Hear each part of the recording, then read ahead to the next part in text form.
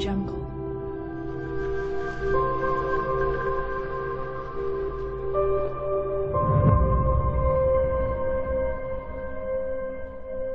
Audio Jungle. CWNJ CWNJ，偷听啊！医生怎么还给宝宝开安乃近注射液体？CWNJ CWNJ，Rico 最近江苏一位妈妈上传带娃看病经历，称 ZWNG ZWNG LDQUO，顿时喝到下巴哆嗦。ZWNG ZWNG RDQUO，随后很多以安乃近这一药物使用为题的文章在各个妈妈圈热传。ZWNG ZWNG，美国禁用四十年，我们还在给孩子吃。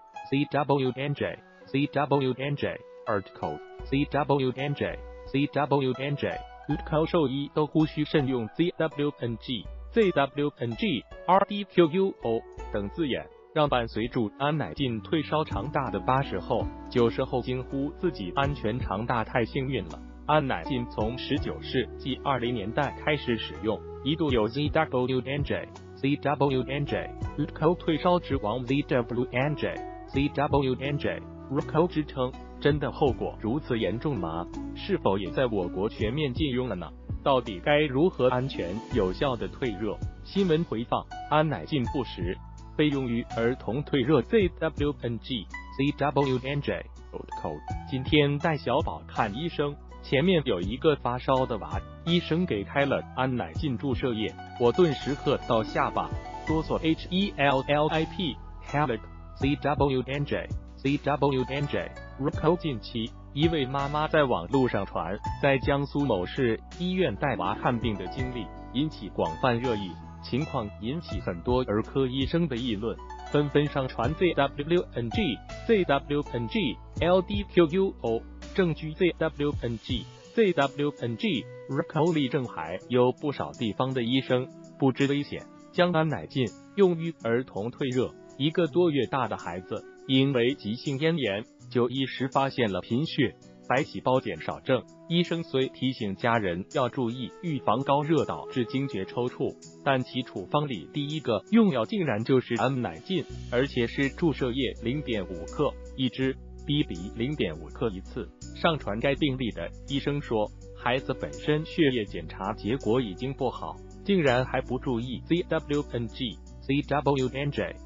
口安乃近可治中性粒细胞减少 ZWNG ZWNG RDQUO。问题实在不应该。另一个病例也是孩子发烧，不仅被头孢氨苄、磷酸奥司他韦儿童感冒药。清热中成药等抗病毒加抗生素药大包围，也被开出安乃近注射液来退热止痛。CWNJ CWNJ，口这个药是真的不该用啊 CWNJ CWNJ Rico 上传该病例的医生说，网友讨论曾是 ZWNG Z W N G，Reco 退烧之王 ZWNJ ZWNJ article。八十后、九十后对他最熟于参与讨论的医生们异口同声的说：“ZWNG ZWNG LDQUO 不该用。”安乃近 ZWNJ ZWNJ Rico 不同，很多普通网友感到的是诧异。ZWNG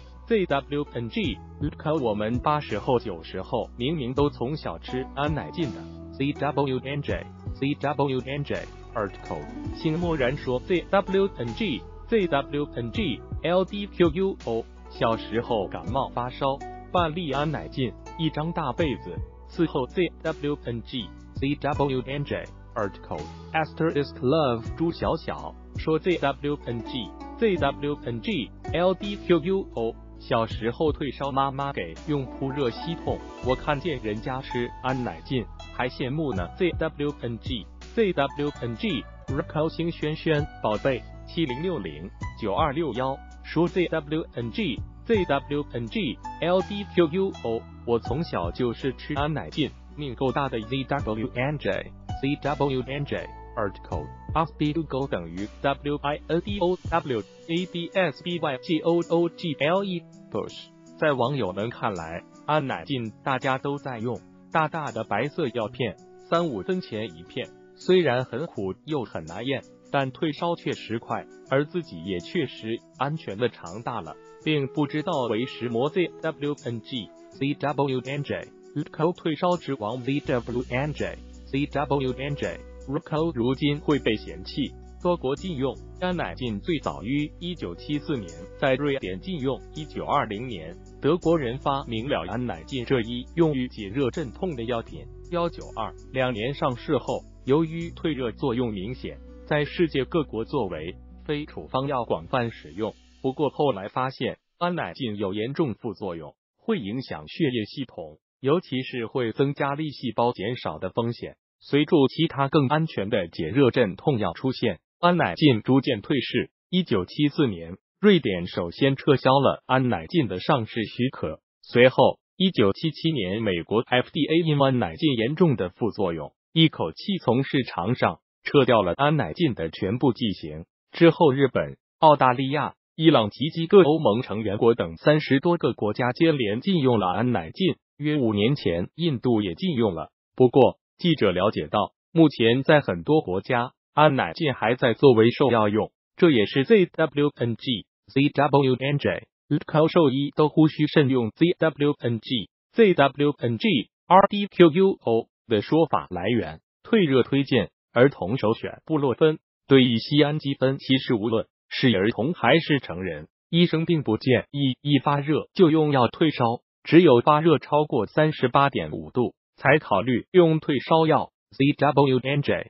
ZWNJ 这是因为发烧其实是一种机体正常的免疫反应，不能盲目退烧。ZWNJ ZWNJ article 扬言解释说，病毒细菌入侵人体，首先是中枢神经发热，稳定病毒与细菌的活动，同时发热可增强机体吞噬细胞的能力。以前有说法称 ZWNG ZWNG LDQUO。不能高烧，否则会烧坏脑。自 ZWNJ ZWNJ article 其实是不对的，实质上是脑膜炎病毒破坏了脑实质，并不是所谓的 ZWNG ZWNG LCO 烧坏脑子。ZWNG ZWNG RDQUO 对于发烧，首先要做的是针对病因治疗，烧退了是评估治疗疗效的手段。一般来说。发热多数是普通病毒性感冒引起的，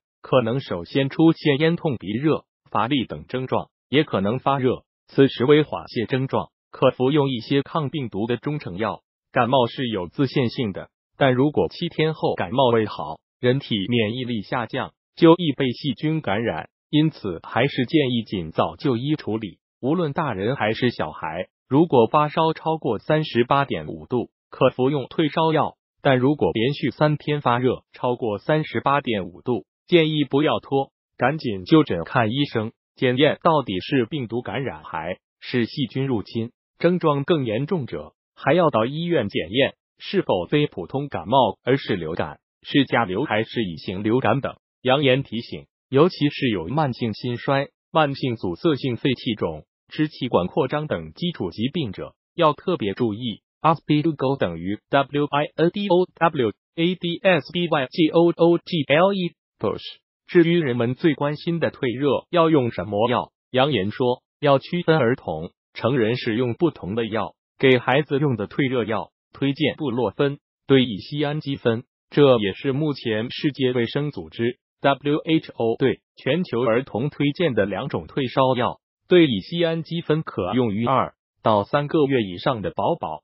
布洛芬可用于六个月以上的宝宝，只要按剂量服用，对孩子几乎没有食膜副作用。成人用的退热药也可口服布洛芬，对乙酰氨基酚还可使用赖氨匹林、复方氨林巴比妥。此外，还有中成药的柴胡注射液。上述所说的用药都是真正的解热镇痛药，安全有效。扬言指出，老百姓也发现其他，比如阿司匹林、银朵美辛。尤其需要特别注意，尼美舒利等也有退热作用，但由于它们的不良反应以及有其他主要作用等，医生、临床药师均都不推荐用于退热。相关规定，儿童版中国国家处方集以无安乃近 ZWNG ZWNG、LDQUO，在我们医院已经很多很多年没有购进使用安乃近这一药物了。ZWNJ、ZWNJ。RICO 广东省第二人民医院药学部副主任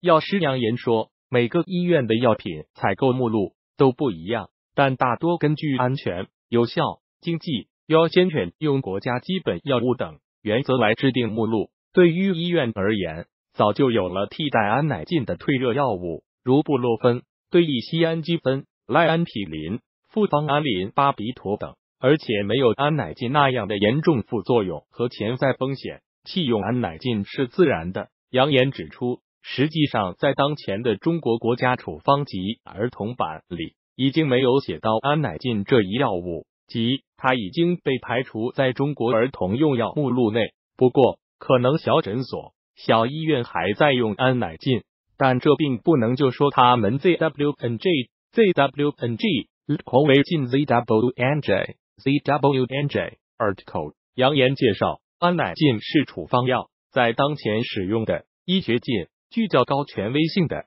新编药物学第十七版里，还是有安乃近这一药物记录的。提到该药 ZWNJ ZWNJ article。一般不作为首选药，仅在急性高热且病情危重又无其他有效药可用的情况下，用于紧急退热。ZWNG ZWNJ article 提醒老百姓不能自己购买使用，必须在专业医生认为有必要使用，而且有条件对粒细胞等血液指标密切监测下使用。ZWNJ ZWNJ article 不过。即使是在我们的 ICU 临床重症退热，也不用安乃近，而是使用冰毯或冰帽加其他退热药。ZWNJ ZWNJ Rico 扬言说，记者了解到，早在一九八二年，我国原卫生部就将复方安乃近片列为淘汰药品，但留下了安乃近的片剂、